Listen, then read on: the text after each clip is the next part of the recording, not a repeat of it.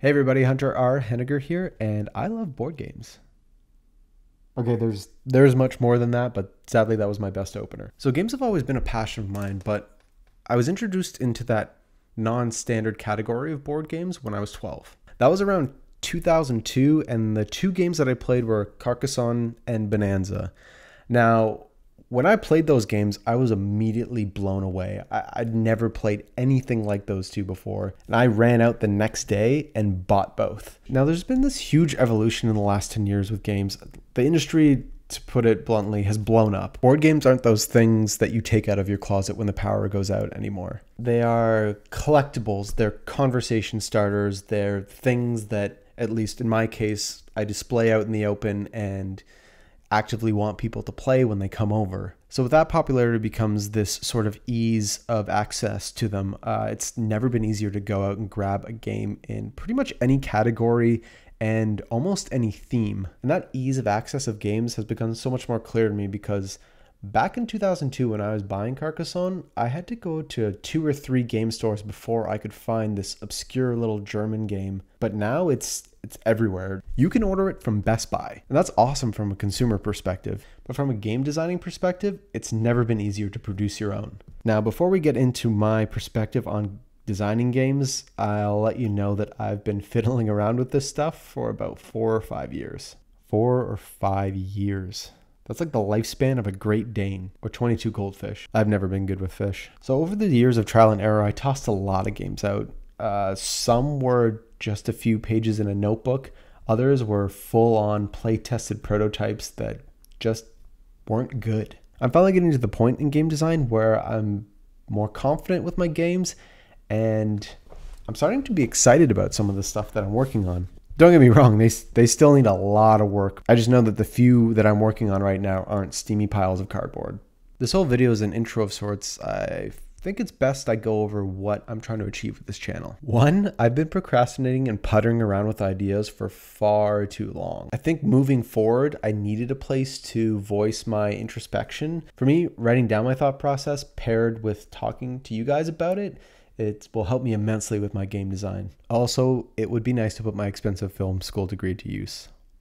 Two, discussing my experience with game design. I'm to go over everything I've worked on up until this point. I'm no prodigy and I've wasted a lot of time getting here. Hopefully, some of what I discuss on this channel will shave off some of the design time for you guys. Like I said, I think writing or talking about the process of game design is something that all designers should do. It really allows you to dig deep and justify why you've added certain elements in your game or why some mechanics are there and not others. So the game I'm going to be talking about pretty regularly is a trick-taking game that I designed and I'm going to go over sort of why I chose to do that. I'm going to talk about the theme I chose. I'm going to talk about game mechanics I decided to bake in.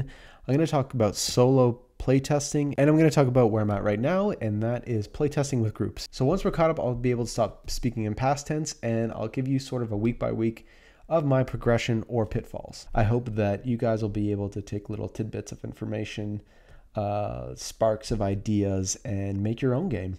I still consider myself relatively new on game design, and I'm learning something every single day from blogs, from podcasts, from Board Game Geek. There's so many good resources out there, so I think the only thing stopping you from making a game at this point is you. There's at least a few places I know of one game crafter that you can just put your game on there and sell it, and it's just print on demand, kind of like Amazon Kindle is. So, depending on the scale of what you want to do, you can make a game and you can sell it, and no one can really stop you. Let's not go too far down the rabbit hole of publishing just yet because uh, we're a little far off from that. So one thing that I want to make sure that I do with this channel is be bluntly honest with everything that I'm working on. I know that there can be a tendency to uh, want to hold the cards close to your chest in terms of game mechanics or game ideas. I want to take a writing approach with this where you can you talk about your ideas. You talk about it in a way that you're confident and not worried that, you know, someone's going to steal that idea because an idea is just an idea. If you have a good tagline or plot for a movie, that's great, but that that's a paragraph. So talking about that plot or that idea is is having this confidence that you are the best person for that idea, not really hiding it away and shying from it and worrying about people stealing it cuz they might do a better job. People either see that you're good or at the very least they'll see that you're passionate about it. But the games I'm designing aren't going to be the only thing that I'm open and honest with you guys about because I feel like people need context as to who you are or what your life situation is when you're doing something like this, something creative. That could be how much freedom you have to work on that project, where you're at in terms of financial support, what your family life is like. These are all factors that come into game design. Don't get me wrong, I don't think that you should compare yourself to anyone. I just think that when people speak of success or failure, a lot of the times they don't give you enough context um, as to why either of those things happened. And that's not really teaching you anything. Like I said, I love games and I'm on this path to designing them. So if I can help one person with their design in any sort of way, I'm going to call this channel a success. One last thing before I go. The game I'm designing and I'm going to be talking about extensively on this channel is something that I don't plan to pitch to a publisher at this point. That may change, there's no guarantees, but at the point of this recording, I'm planning to run a Kickstarter in November.